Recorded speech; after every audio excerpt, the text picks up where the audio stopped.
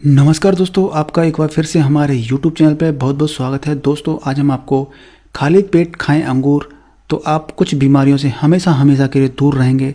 आपको वो बीमारियाँ कभी नहीं लगेंगी।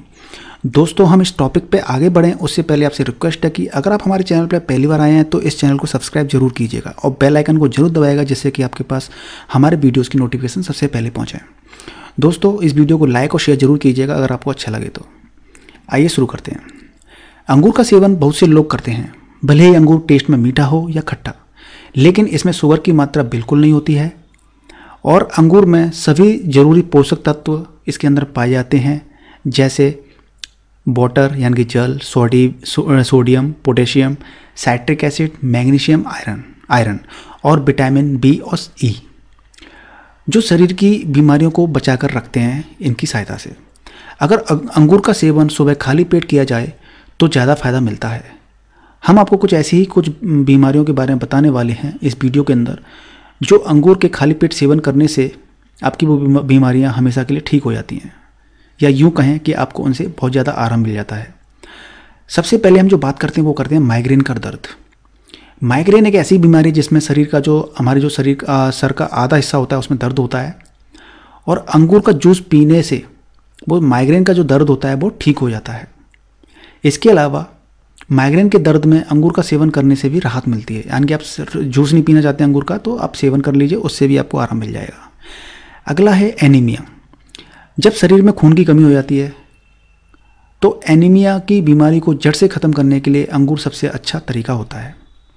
रोज़ाना खाली पेट अंगूर का सेवन करने से इसमें आपको काफ़ी फ़ायदा मिलता है। अगला है हार्ट अटैक में फ़ायदेमंद।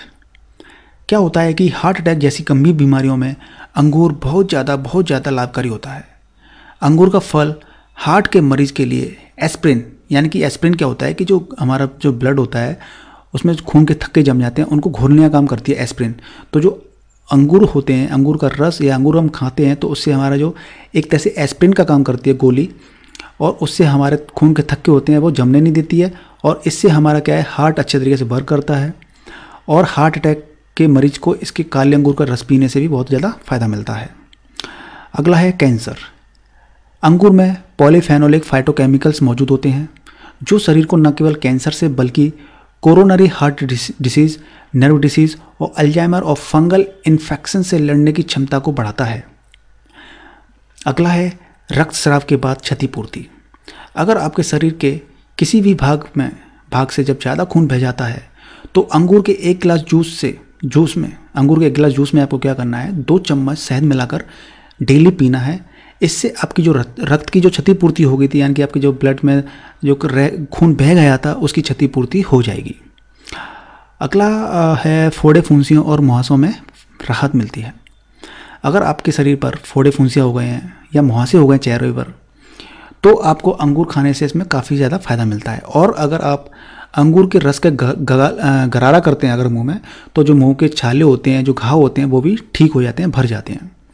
तो दोस्तों, आपने देखे कि हमने करीब पाँच से छः इसके अंदर अंगूर खाली पेट अगर खाते हैं तो आप उसका फ़ायदा मिलता है।